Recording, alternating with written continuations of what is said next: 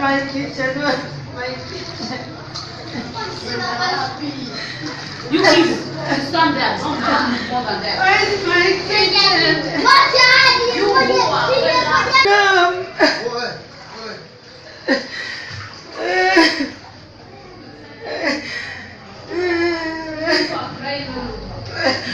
I'm 51 years right now.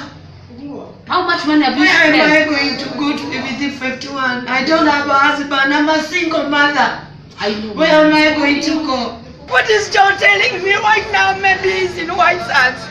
While me, I can't sleep the whole night. Where is the drainage? Where is the money for this thing? See what Where is the spend for my children are staying in the room?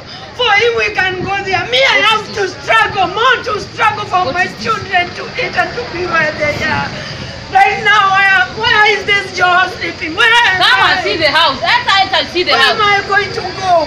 My sis was 300,000. My aquarium cost almost 200,000. My fridge, I bought it at Nakumatt. As in the total value of everything that you've lost. The value of everything is almost like 1.2 million. My furniture, just downstairs, my furniture was 1.2.